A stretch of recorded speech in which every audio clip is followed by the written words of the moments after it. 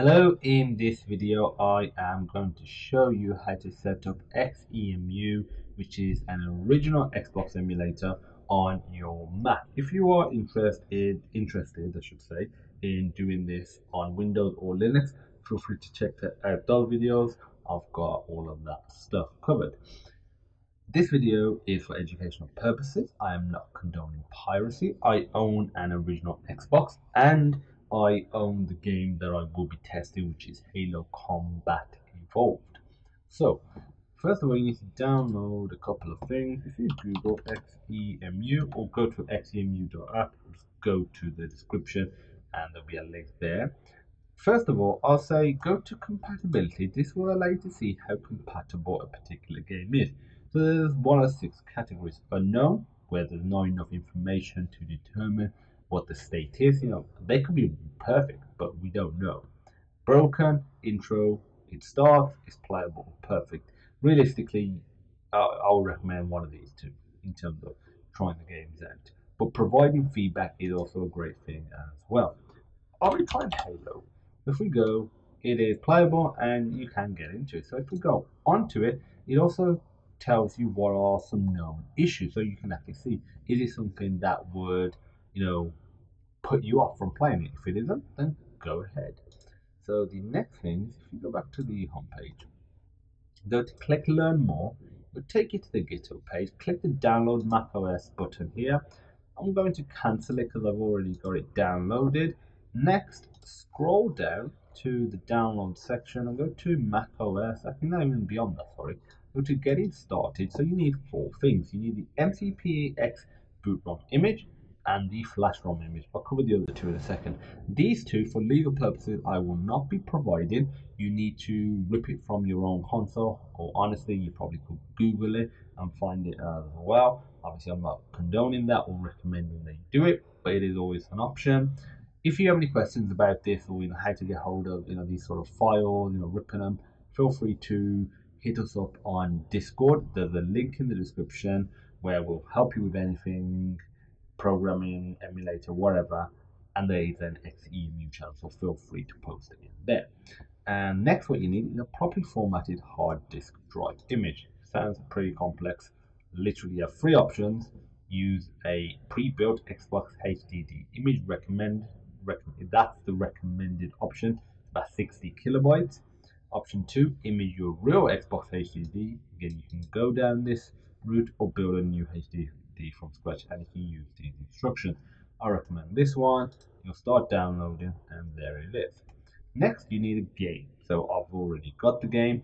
Again for legal purposes recommend that you own the game and you rip it yourself but I'm sure if you google it you can find it. You will need it in ISO format so just bear that in mind. If you have any questions about converting folder format to ISO feel free to pop me a message and I will help you out just posting the XEMU channel. Okay, so now I've got everything already downloaded in a folder called Xbox and got the MCPX, which is just this one that I'll be using. Got BIOS, I'll be using this one, and we need to extract these two. To do that, double click each one. That one's done. Double click the actual application. Drag and drop that or copy and paste it, however you want to do it into applications. Now we just need to run it. You could run it from Launchpad or you know the search up here, whatever you want. So XEMU, open. If that happens, click it again, it will launch this time. It says failed to open flash file. That's fine. Go to machine, settings, and in here, go to browse, go to BIOS, the first one, or whatever yours is called, and now for the MCPX hard disk image file and the EEPROM is automatically created. You can increase the system memory if you want to, and you can skip the startup animation. I would like to keep that. Click Save, close it down, and reopen it, and now you'll have the Xbox boot sequence.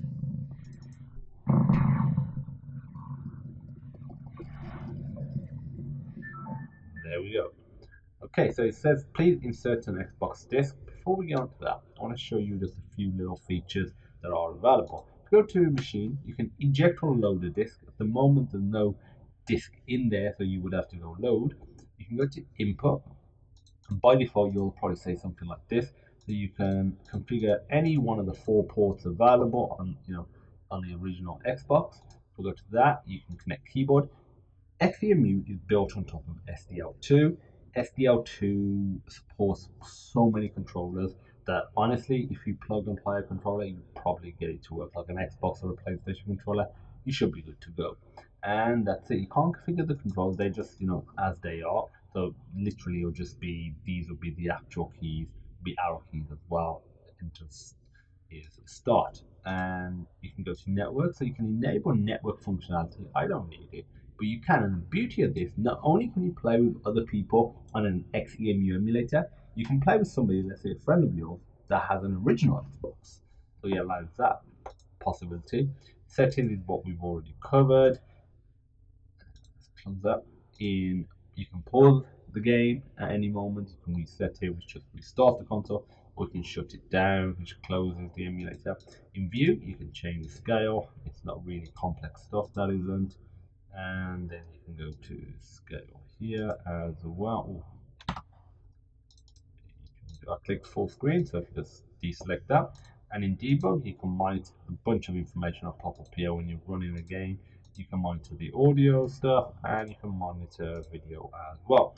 One last thing I want to show you, if you go to help, go to report compatibility, when you try a game, I'll recommend you, you report how compatible it is and your hardware specifications and any problems that may occur. This way, it's just a free way of helping the project out.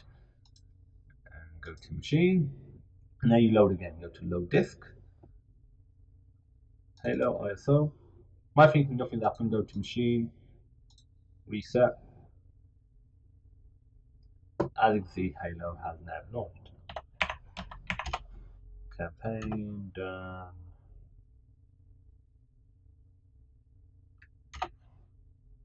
And the game is running pretty darn smooth and we can obviously see you know the settings I mean the information about how well it is running right here. And if you're really interested in this sort of information you can access all of this as well. So it's loaded. I'm going to skip this. And there we go. So I'm going to pause this now.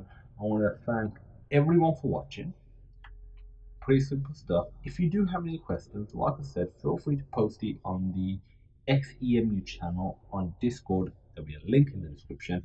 And I look forward to seeing you in the next video.